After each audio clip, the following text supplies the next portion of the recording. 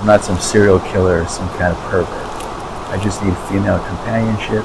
I think you and I can have a lot of fun tonight. How did I get here? Think I know, You know what? What fuck I yourself, you did. fucking cunt. Always worked real hard. Maybe I missed something. I, I knew there was a reason I brought you into this. Got a real mind for this stuff. Just Where wanna keep it Let's go this way. real. Cause maybe I was doing fine on my own. Listen, I had a career before, now didn't I? Had lots of friends before, now I? Playing the songs over and over and over and over again.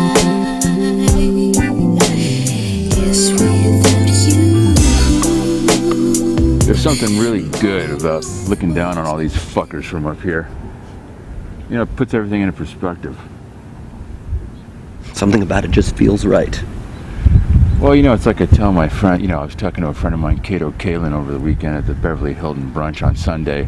We were sipping on a couple of bottomless mimosas, and I'm sitting there trying to tell him, you know, the only thing that matters in this fucking town is real estate, if you really think about it. The whole movie business, it's a big sham. It's a bunch of BS. And then you think about Melrose and Sunset and all these different areas, it's all just commerce, man. When my LA Gear shoe kicks off, people are gonna go fucking nuts. All those break dancers in Venice, they're all gonna be wearing my shit. When that fanny pack takes over, it's gonna be like a fucking bomb dropping on this fucking shit land. You see, I can live the American dream by running a legitimate business. Just because I'm an Italian American doesn't mean that I have to be affiliated with organized crime. Listen, man, you should put more drug money into your security, in your legitimate business. But there's a dead 14 year old girl that everyone wants to know what happened to. You're a black cop, and I'm a mobster. I am? This here is private property, and I don't want you on my property.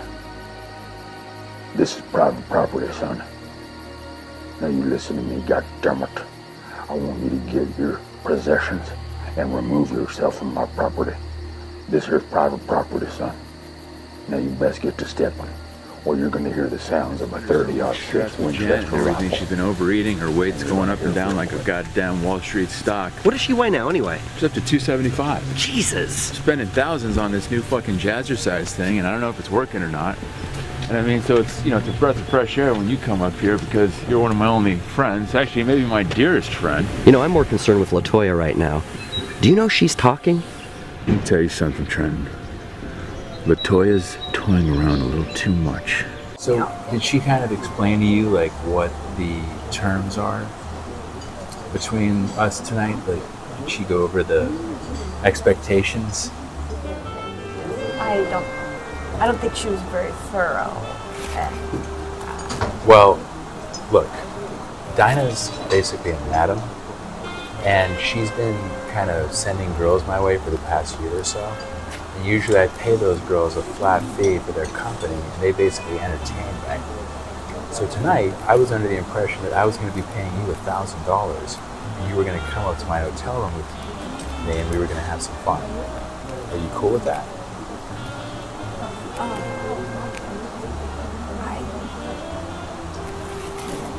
Um, I don't know at this second. Well, I mean, we're kind of wasting our time then because if you didn't understand what this whole dinner meeting was about, then I'm going to have to hold Dinah accountable for this because I thought that she made it clear to you exactly what this was all about. You need money, right? You're an artist, a musician. I do. I do. Yes, I definitely Well, need look. money. I can help you. I can take care of you. If you need help paying your rent, paying your car lease, we can maybe we can work something out.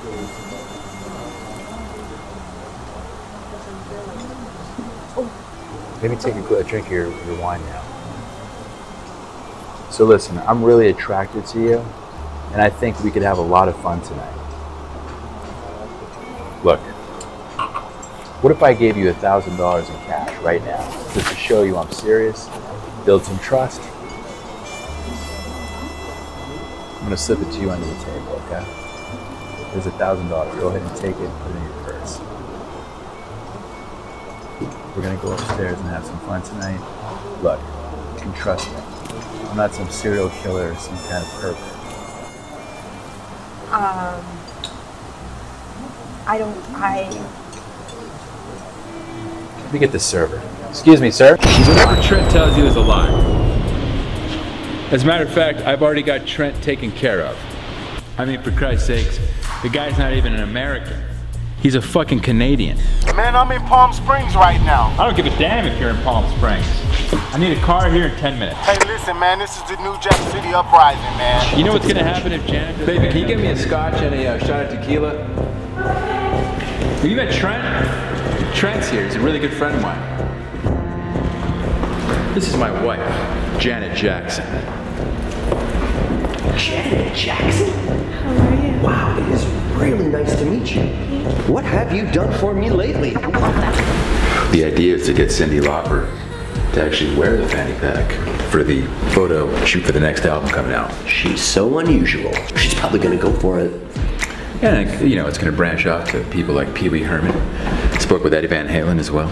We might even try to get the Corey Haim fella to do it as well. I hear his career starting to take off from my good friends down at CAA.